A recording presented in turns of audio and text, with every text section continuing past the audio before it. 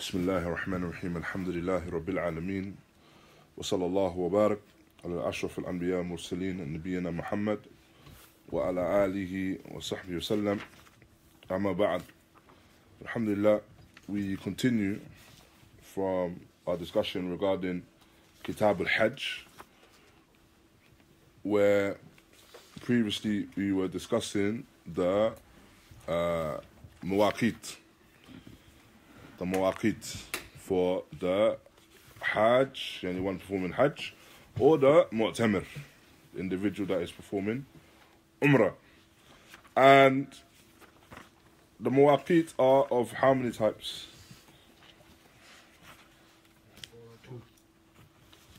There are two types. And they are? Zamaniya Makaniya, yani referring to time, referring to place. So the miqat referring to time is referring to is is in relation to what? Um, so if you're doing the Hajj Tamattu or the Hajj Qiran, the time that you can do the Umrah. So it's the time for the umrah that goes along with that hajj. Naam. So the, the time for the umrah that goes along with the hajj. So if you're doing hajj tamattu, naam, or hajj qiran, then when you do the umrah for that hajj. And when is that time? Within what? After Ramadan. And specifically what though? Shawwal, the month of Shawwal, the whole month of Shawwal, the whole month of Dhul Qa'dah, and the beginning of Dhul Hijjah. Naam, the first 10 days of Dhul Hijjah essentially. Um, well, yeah, the first 8 days, 8, 9 days. So, as for the miqat, which is makaniya, what is understood by that? The miqat, which is makaniya.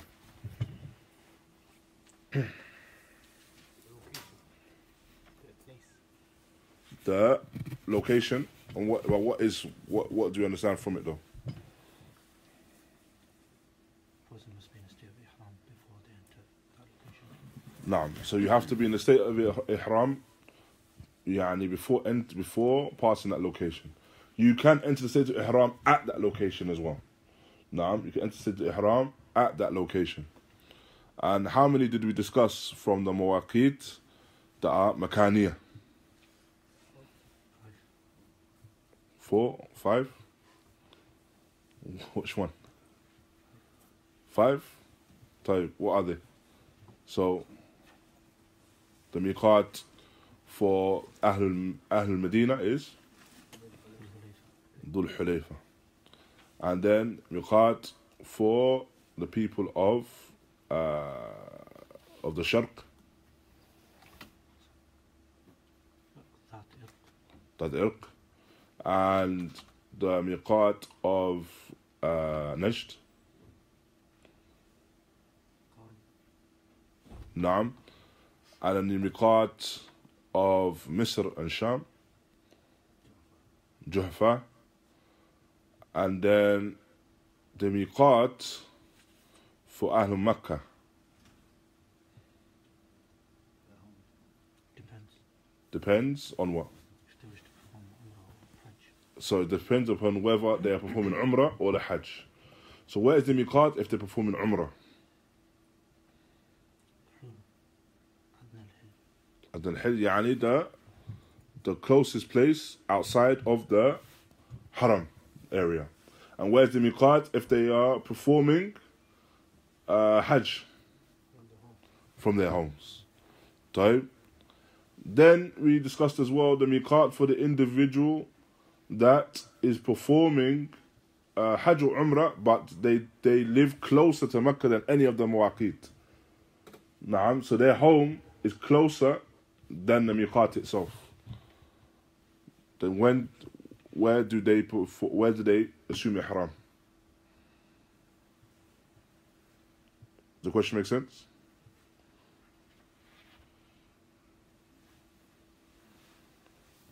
Where, if they live closer, where do they assume ihram? From their home. Naam. An example of that is which city? Jeddah. Naam. So they uh, they assume the ihram from Jeddah. طيب. as for today, then what we should discuss, inshallah ta'ala, is the discussion around ihram itself. The ihram itself. and so Ibn Qudama, rahimahullah, begins by mentioning من and so eh, rather beginning with باب الإحرام باب الإحرام the chapter of the Ihram. And Sheikh Ubaid, he mentions يعني الإحرام هو نية الدخول في النسك بقول لبيك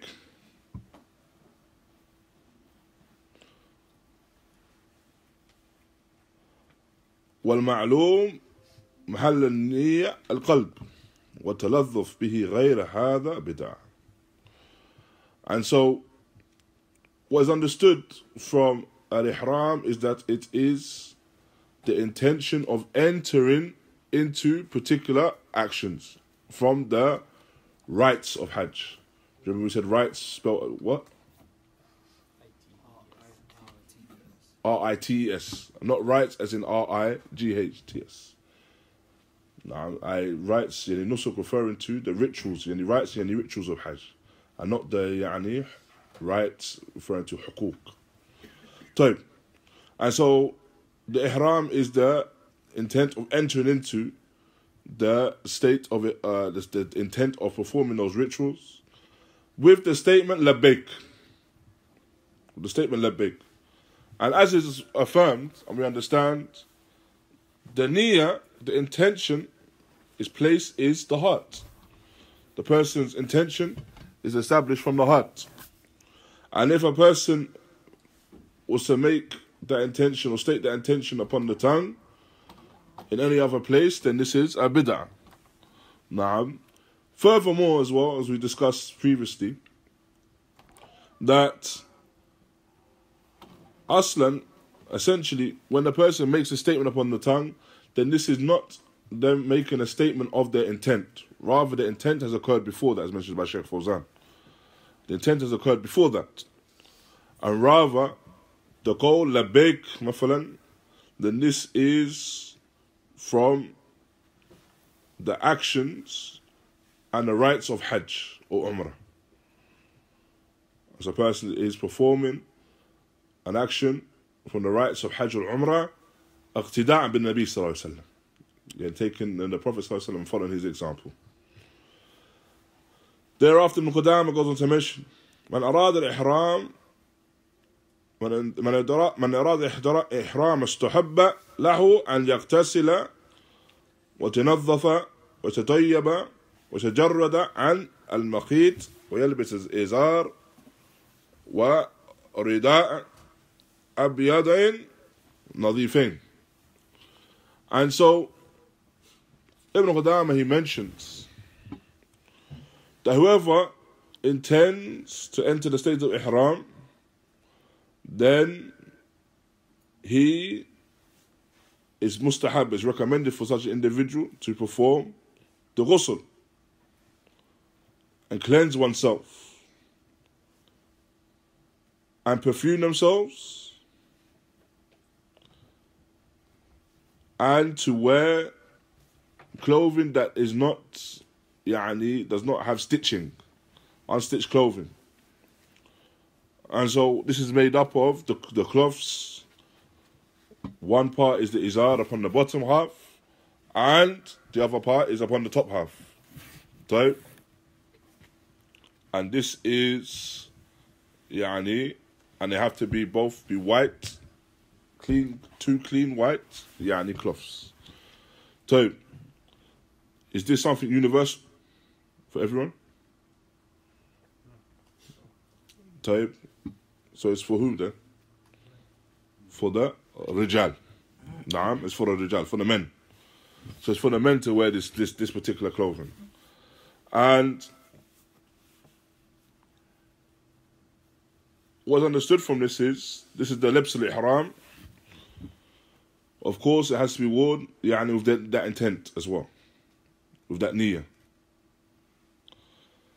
Shaykh mentions, as for nisa, فليس عليهن ثياب معينة As for the women, then they do not have anything that is, there's no specific clothing upon them to wear. So there's nothing specified for the women to wear. بشرط أن لا تكون الملابس ولا تكون ملابس ملابس الرجال. With the condition that they are not, they do not wear the clothing of the men. So they do not wear the clothing of the men.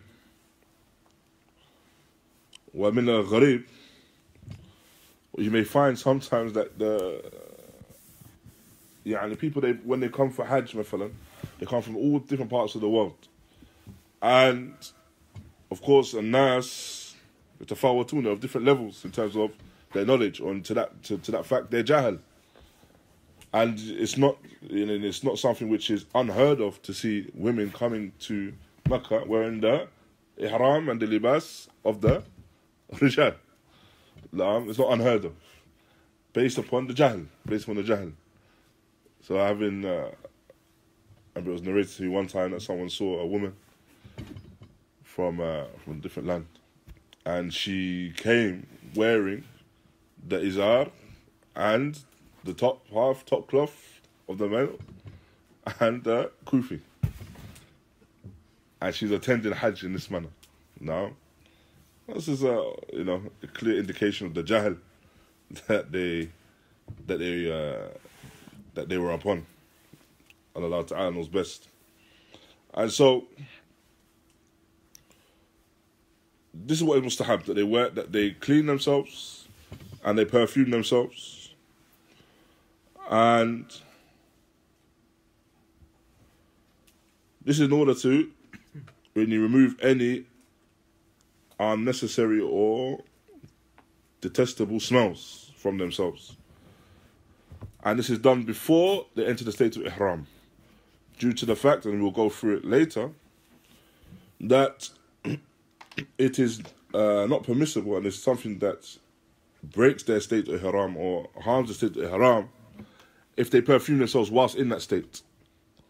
Now, if they perfume themselves whilst in the state. So they can perfume themselves before they enter that state, but not thereafter. And thereafter, Ibn Qudama mentions, ثم يصلي ركعتين نعم ثم يصلي ركعتين يحرم عقبيهما وهو أن ينوي الإحرام and so with this he prays two rak'ah he prays two rak'ah whilst in the state of ihram. So he prays two rak'ah, yani, with the intent of entering the state of ihram. And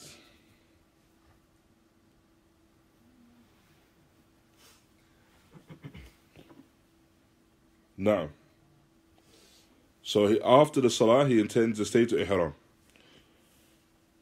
So is the tartib clear? So he he he he wears the clothing.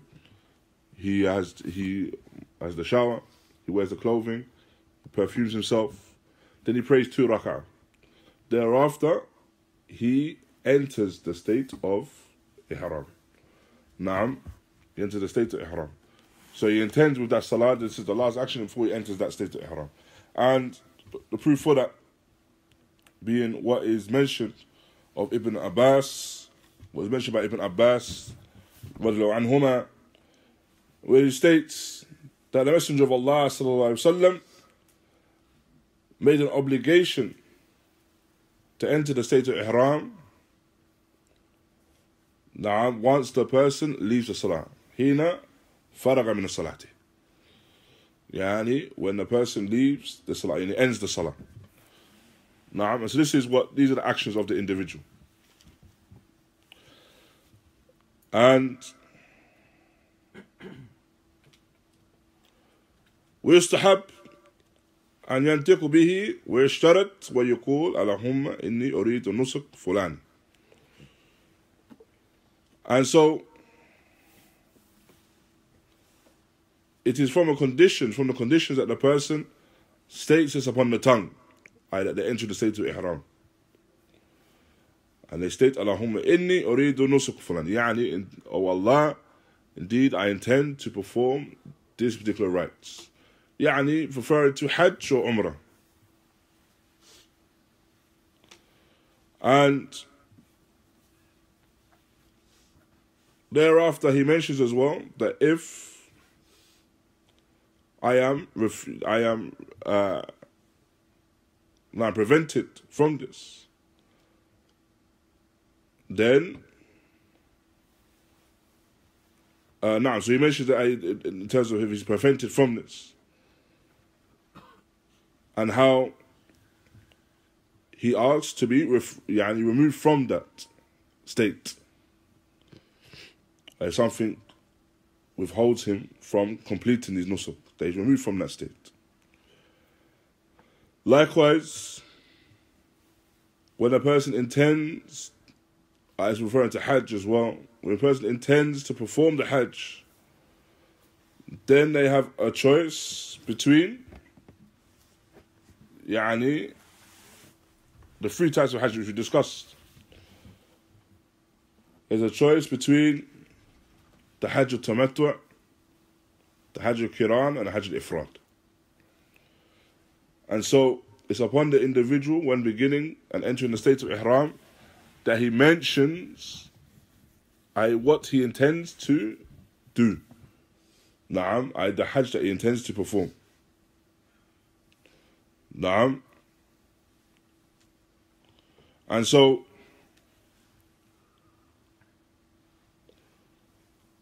if for example the person he's performing the uh, يعني the Hajj al-Ifrad then he makes the ihram or he, he mentions the ihram makes a statement يعني مفردا so it makes a statement by itself because it's only performing Hajj Now,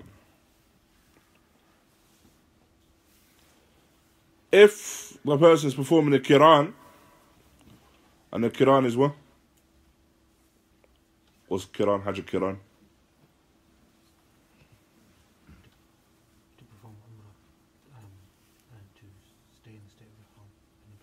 نعم is that when a person performs the Umrah and they remain in the state of Ihram and thereafter perform Hajj. So there's no break in terms of the Ihram. So they perform Umrah, remain in the state of Ihram, then they perform Hajj. If the person does that, then they first they make the the enter Ihram performing for the Umrah. Then they ent, then they add on onto that the intent of the Hajj. So they add onto that the intent of the Hajj. And This is for the one that يعني, performs in the Hajjul Qiran. And as mentioned before, the Hajj, which is the better of the three, is the Tamattu. And so the person, when performing the Hajj Tamattu, then they make the intention of ihram first for what? For Umrah. Then they come out of that state of ihram and then they make the intent again and they make they, they enter the state of Ihram again for the Hajj. Now this is regard this is regard to the Tamattu. As um now thereafter as for the one that is in the state, then he mentions the words Labbaik Allahumma Labbaik. Naam, Labbaik Allahumma Labbaik, La Sharika Laka Labbaik, In Alhamda, Wal Ni'mata Laka Wal Mulk, La Sharika Lak. And so he mentioned these words whilst in the state of Ihram and within this within Talbiyah, no doubt, is the statements of Tawheed, an affirmation of Tawheed.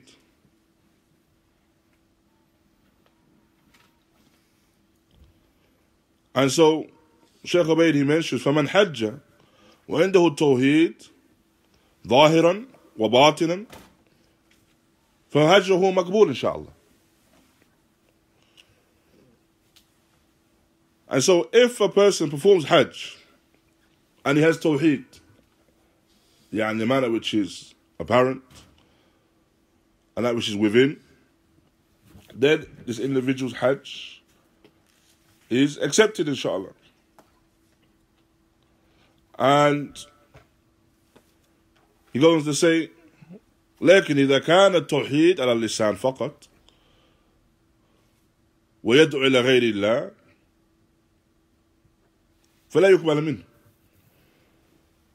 and so if however this person their hajj is upon the tongue alone or their, their tawheed rather is upon the tongue alone so what they're stating is just merely upon the tongue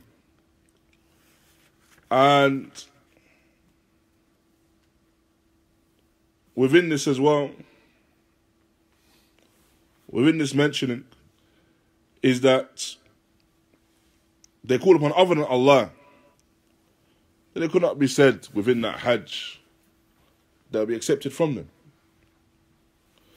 And so, these words that the Muhrim states is an affirmation of the Tawheed that they're upon. And with this as well, what is mustahab is that they mention it plentifully and they raise the voice يعني ورفع الصوت بها لغير النساء نعم and they raise the voice by way of this talbiyah however this is not reserved for nisa and Abdullah Sheikh Abdullah ibn Bassam he mentions يعني تعليقا he mentions as a comment upon this يعني in relation to the women لأنهن أورة Why? Because they are the aura. يعني referring to the women يعني in, they in totality are aura. And so their voice is inclusive of that. And so it's similar as well to what is mentioned in relation to the uh, the legislation of the adhan. Legislation of the adhan where Sheikh, uh, Sheikh Ibn Uthaymeen mentions that it's not upon the women to call the adhan. Naam. Hatta even if they're amongst themselves. It's not upon them to call the adhan. Why? Because the women are not ahlul i'lan. Naam, the women, they are not individuals that give and are there to announce anything and openly announce things to the people. And so, the raising of the voice in any any way, shape, or form is not legislated, and rather, uh, this is something which is not. Uh, no, it's not legislated for the women. Allah Ta'ala knows best. وهي آكد إذا على نشزا أو حبط واديا أو سمع ملبيا أو فعل محظورا ناسيا ولقي راكبا في أدبار الصلاة وبالأسحار And so it's mentioned as well that it's even more emphasized for them to do so when they are on a raised part of the land. So raised ground. Naam or they are descended into valleys so that they be heard making the talbiyah. Or if they do an action, yani from the things that break or enter upon the ihram, when they do this action, nasiyan. So they do it by way of forgetting. Then in this regard, then they should repeat this as well, these words. These words. Naam. So these are the examples of when they do so. Naam. So, for example, when they're in, when they're upon higher ground. Naam. When they're upon higher ground. or when they're descending into the valleys. So, or they, they do action which is mahdhur. For example, we'll go through them in the next lesson, the things that harm the ihram or break that state of ihram. From these actions is the cutting of the nails. So a person, yansa, he forgets and he cuts his nails. Then what is encouraged that he continues to do this. Likewise as well, at the end of the salawat, know, salawat maktuba. Yeah, it's referring to the obligatory prayers. So at the end of the obligatory prayers, then he continues with this talbiyah.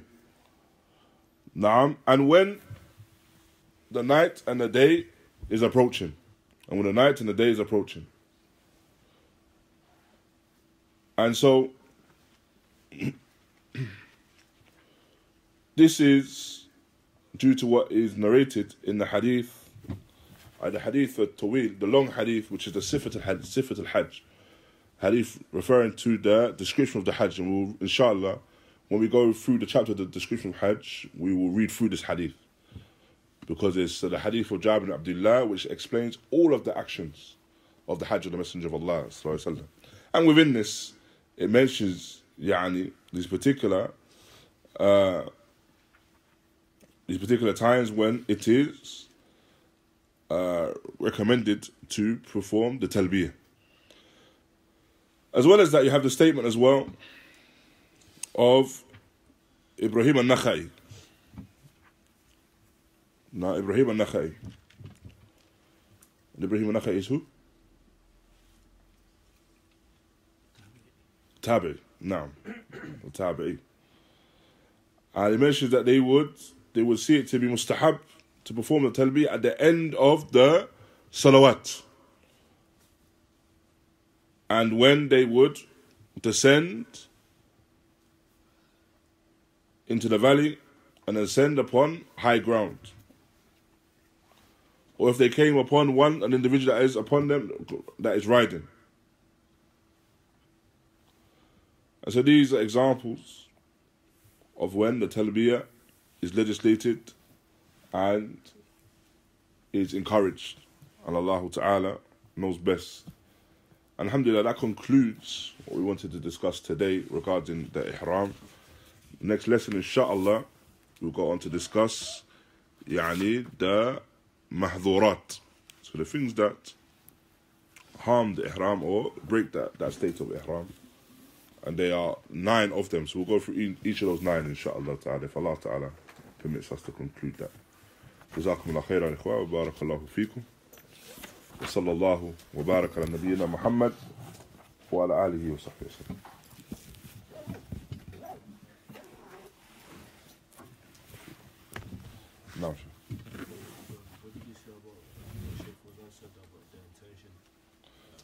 So, in relation to the intention, if a person makes the intention before the before an action, then we generally know this is bid'ah. If they state the intention with the tongue, right? And some will say, however, the exception is, as some they mentioned, the exception is the uh, talbiyah or the mention of labbaik Allah umratan مثلا, labbaik Allah hajjan, before they enter the ihram. And they say this is the only time you can mention the intention. However, Sheikh Fawzan, he mentions that this is not, even this isn't mentioned the intention. Why? Because the intention is already there to perform the action. Naam. Rather, when a person is stating this upon the tongue, this is merely him performing an uh, action from the rites of Hajj. Naam. And fulfilling that action from the rites of Hajj in accordance with the Sunnah of the Prophet. And not that he's stating the intention. And that he's making that he's making that binding upon the action itself. Naam. So, for example, the one that says um, that when he begins the salah, he makes it binding that he has to mention the salah that he's, he's going to pray, the ma'ar raka'at, whatever else they, they state in their intention. Now, this is not the case with the uh, the Hajj and the Ihram. So this is the this is the the Sheikh making that clear distinction between the two. No. Not a Barakallah. No. Yeah.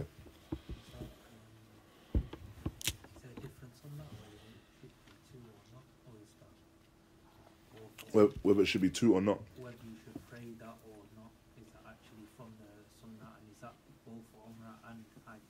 So it's for it's for enter from Umrah and Hajj enter the state of Ihram and it's uh, mustahab, so it's not an obligation upon the individual. And that's from most from most uh, current ulama. Say if you're in a plane, when is the roughly? If you're in the plane, then it's, uh, it's harder, isn't it? I was also on the plane, and the miqat you pass in about a second. So you- yeah. So it's it's generally they, they tell you though, don't they? They still, You're saying we're, we're gonna pass the miqat now. Like you'll pass that. No. Well, generally speaking, then it is really for the one that is at the miqat. Now, so for example, the one that is goes to Medina first, and he's gonna then he's going to assume ihram from Medina. Then he'll go to uh, uh, Dhul. Um, and there's a mas- there's a masjid there. There's there's a facilities there, everything there. They, they perform the salah there. But if a person's passing and they may pass pass by the miqat, it could still be said that if they're, they're told they're approaching it, they can still perform the salah with that intent, inshallah. But then, you know, uh, of course, person needs to be careful that they don't go past the miqat and then miss the miqat as well. Allah. Ustad, you know, like, obviously, there's a lot of information regarding, you know, this. So, say if somebody's obviously ignorant, they're going with their intention. So, say someone like us in the West, Yeah, they don't have all this information, yeah, but the intention is, okay, I've worked hard, I've made my money, hmm now I want to go to Hajj, and it's Yeah. the time of Hajj. okay, But they don't have the in-depth information. They just have the basic of what they're gonna wear. yeah, You know, the more the in-depth that you mentioned, they don't have that. yeah. Would that still be accepted from them as ignorant or? It's not, it's not, when you, like any action of ibadah, it's not permissible to be ignorant about it. So, as if unless you're an individual that just knows, for example, Hajj is from my Islam and it's from Hajj, and you don't have any access to any knowledge about it, then maybe a person may be ma'zur, may be uh, excused. However, if you're talking about an individual now where he has access to knowledge, but due to what he may regard as being a burdensome amount of knowledge, he doesn't seek that knowledge and he, and he doesn't perform the Hajj in the correct, correct manner. It may be, it, it- it's from what's apparent, he doesn't have that excuse to say that I, as of ignorance. Just as, for example, the person he needs to perform his salah from his Islam. However, he doesn't perform it in the correct manner.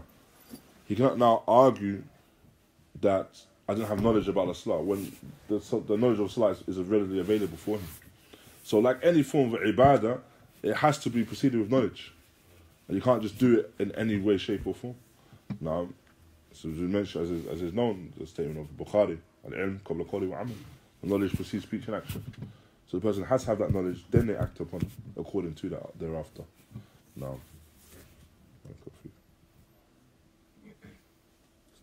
um, what you mentioned about um, the miqat for Ahlul Jeddah, you said it's from their home, right? yes, And you said about Ahlul Makkah that they have to go to Adna al Also, Makkah's closer than. Uh, so I'm not- Makkah is closer then. Makkah is closer to Masjid al Haram to Jeddah. Makkah is closer to Masjid al-Haram than Jeddah, yes. No, so, so is that not contradictory? Because yani, Ahlul Jeddah, they do it from their home. But Ahlul Makkah, they still have to go back out. Because it's for a specific, a specific hukum for Ahlul Makkah. Oh, specifically. specific hukum for Ahlul Makkah. So the way you look at it is like, let's say for example, we've got a spare piece of paper.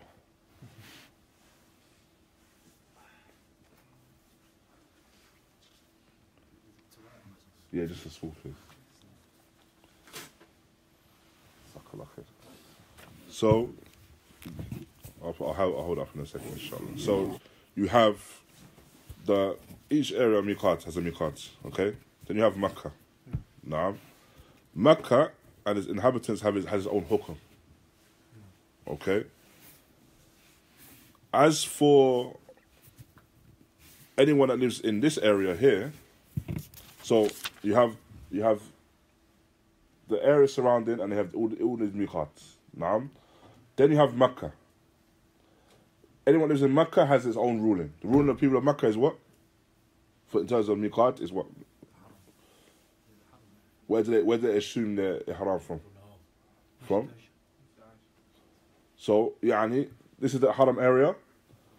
If it's for they, they assume the ihram from outside. Naam. For what?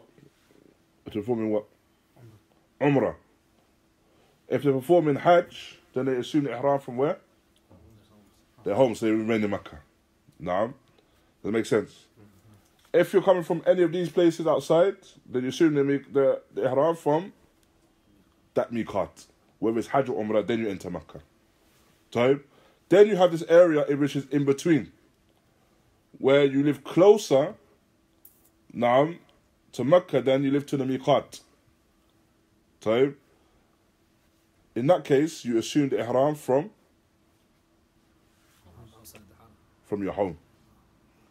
Now, you see the miqat from your home, and a clear example of that is Jeddah. Now, does that make sense? So this is the area in between. So then that's when you you make that you assume the miqat from that. No.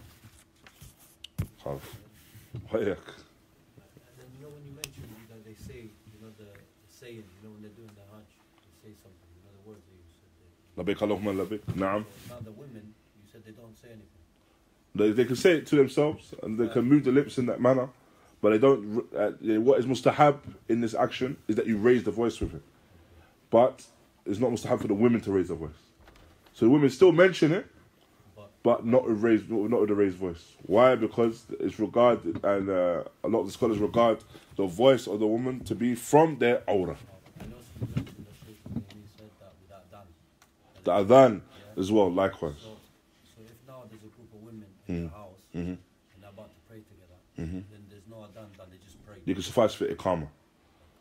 Now, because the adhan is for is as the whole point of adhan is to notify the people about the salah. But the woman will not. The, the job of the woman is never to notify people of any of anything like that. Now, well, Instead, you know, when people are saying that they can, uh, uh, saying uh, Labbaik and stuff like that, yeah, you know, um, if they say it in congregation, is that a bid'ah? like one another, and they, they, they say it in unison. Yeah, yeah. Then this is a bid'ah. This is this, this is not this is not um, legislated. So would the action be void then? It wouldn't be It wouldn't be in terms of what action. Sorry. So that action, that action, you wouldn't say that action is accepted if they're saying it all together and they're making it as if this is part of the rites of Hajj. If they're doing it like that, then no, this is not this is not from the action that we say that you can say I accepted Allah Ta'ala knows best. Why? Because it's in opposition to the to the Sunnah of the Messenger of Allah. However, a person doing it, then there's no there's no harm in actually doing it. Of course, this is all rather legislated in saying the word.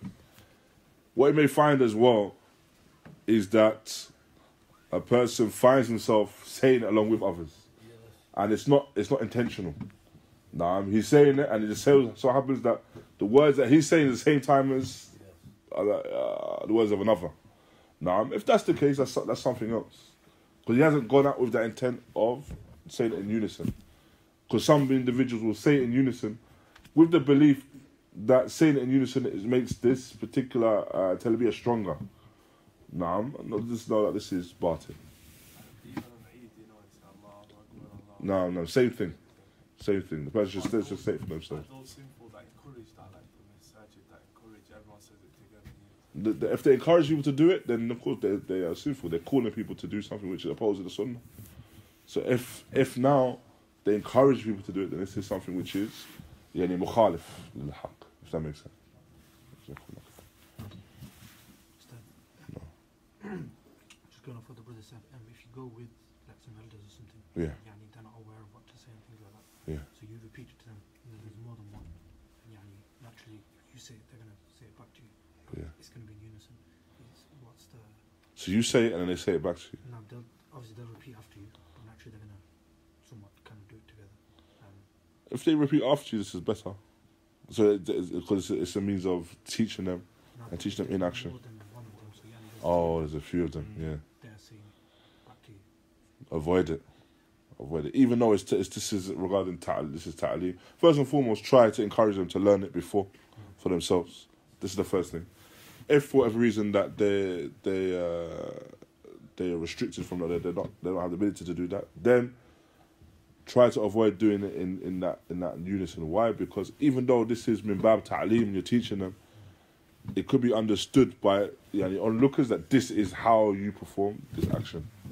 No, Ustad, one more question. sir. No. When you say like when you're going for Hajj, yeah? and then Sorry? You're going for Hajj and you're on the plane, yeah. does it have to? Is it that you have to put that white thing on on the plane once you land, or can you Right. go there and then do it after like a day later? Or, No, no. So, uh, let's say, for example, now you are um, coming from here and you're flying directly to Saudi, right?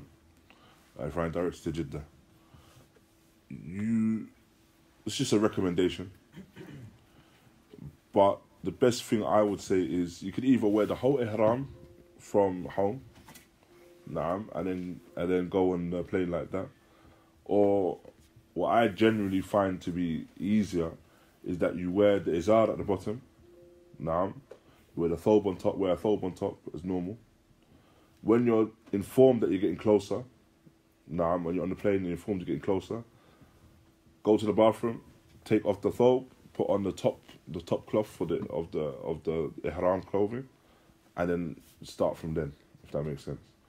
So you have to. The, the, according the point is you have to be in the state before you uh, pass the miqat. If that makes sense, you have to wearing that clothing before you pass the miqat. So you can't now say, I'm, as you mentioned, I'm going to wear it afterwards, or I'm going to put it on once I get to my hotel in Makkah. No, because you have to have passed the miqat in that state, and part of that state is having the clothing on. and you have to have wudu and all that with it, or that doesn't matter. No, wudu is legislated for the the uh, beginning, so for the tawaf, you need to have wudu. But uh, being in that state is, is, is not it's not uh, conditioned that you have you're in a state of purity, if that makes sense. To be in a state of ihram is not condition that you're in a state of purity. Because, for example, if you're in ihram, especially for example, if you're doing hajj, you're going to break a wudu at some point. It's going to be over days. Now, so it's not it's, it's not legislated that you're in a state of purity per se. No. Oh, yeah. No. You have to make a wudu again now. No, you have to make a wudu again for the tawaf. Especially as well, because after that you have to perform the salah. No. not okay to wait until you've done your yeah, cool. بارك الله فيكم يا إخوان. جزاكم الله خير وصلى الله وبارك على نبينا محمد وعلى آله وصحبه وسلم.